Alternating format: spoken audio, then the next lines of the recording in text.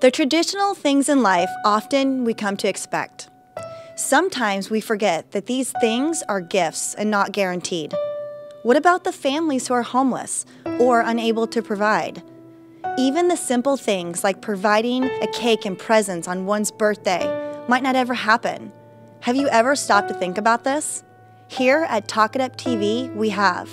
We're about to surprise Cade with the birthday party that he will never forget. This is Talk It Up TV.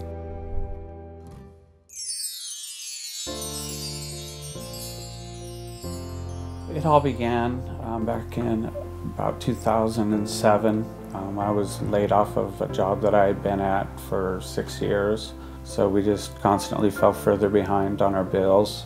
Rent being, of course, one of them. Eventually, we were evicted, and we eventually ended up homeless. We were uh, living in a tent for about a month or so, fortunately during the summertime.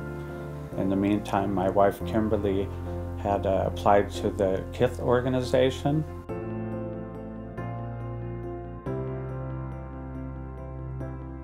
It actually took six months for me to get a hold of somebody in KITH to explain our situation, but ultimately it took me calling just about every day, leaving messages for six months. I couldn't give up because I I wanted to have a secure, safe home for my children.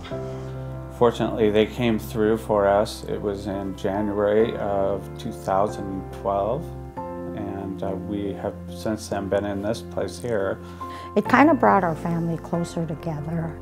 We have all learned to live with less than we were used to. As far as traditions and holidays, I think it's actually done us some good because I think we tend to appreciate now what we have. We're grateful for what we have more than gifts. Now we're, we consider luxuries.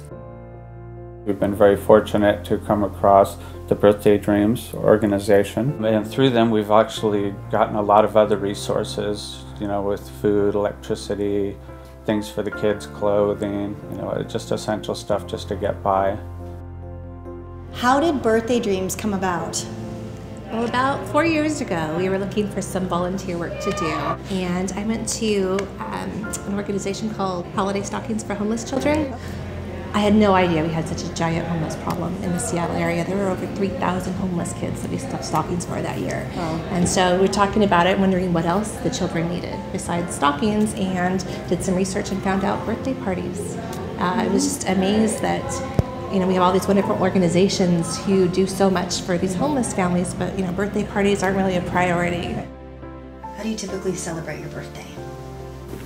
Um, we pretty much just have a cake and dinner, and then we sing happy birthday. Cade was one of the big, biggest blessings of my life. He's quiet, he's shy, and he also, um, he's very kind. He's one of the most kind-hearted children that I know. Football, he loves football. His other hobby is, of course, every kid's video games. Cade's favorite hobby is definitely football. Um, at school, at recess, after school, outside in front of the house. My favorite hobby is football because I get to play with all my friends and because I get to run around a lot. Hi, is Cade here? Cade. Cade, hi, my name's Amy. From Amy's Limousine Service. The people at Talk It Up TV told me you had a birthday recently. Is that true? Yeah. It's my real birthday today. I got a surprise for you outside. You want to come with me? Yeah. Cool.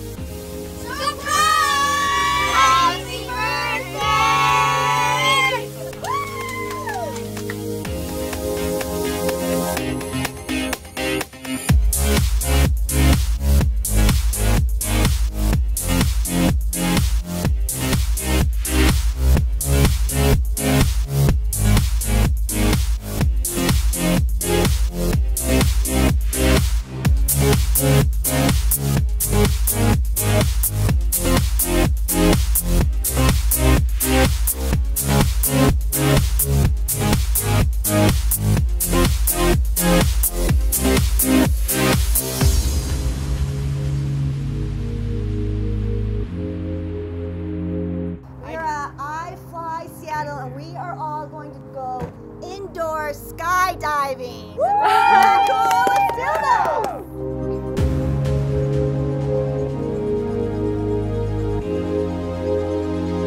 What's up, guys?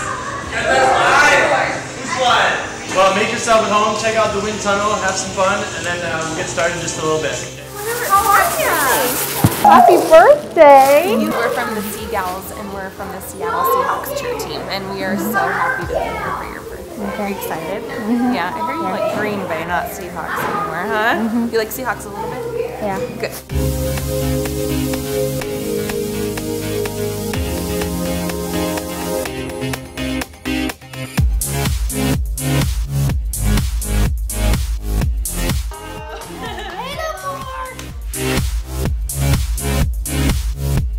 A picture of all the girls and we signed it for you. We want you to keep up your dream of becoming a football player, okay? So we're almost gonna get started here. What's gonna happen is, uh, do you guys want to walk in there, kind of see what it's all about? Yeah. Yeah. Okay. So we're gonna do that. Then we're gonna come out, and then we're gonna have some of our instructors come and fly around and kind of show you how it works. And then we're gonna go into a classroom. We're gonna learn all about it. We're gonna learn some hand signals, and then it's our turn to fly. You guys ready to do this?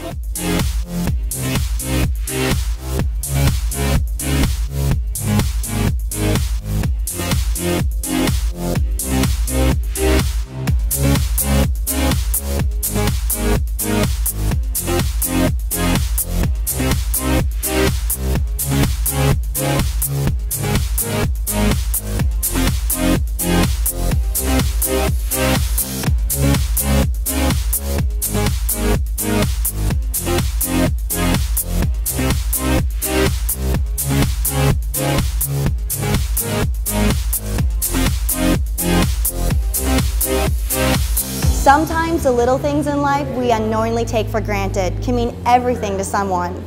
We hope that Cade's story will also open your eyes to appreciate these little things. Please help us share the story and our messages with your friends and like our Facebook fan page. Thanks for watching Talk It Up TV.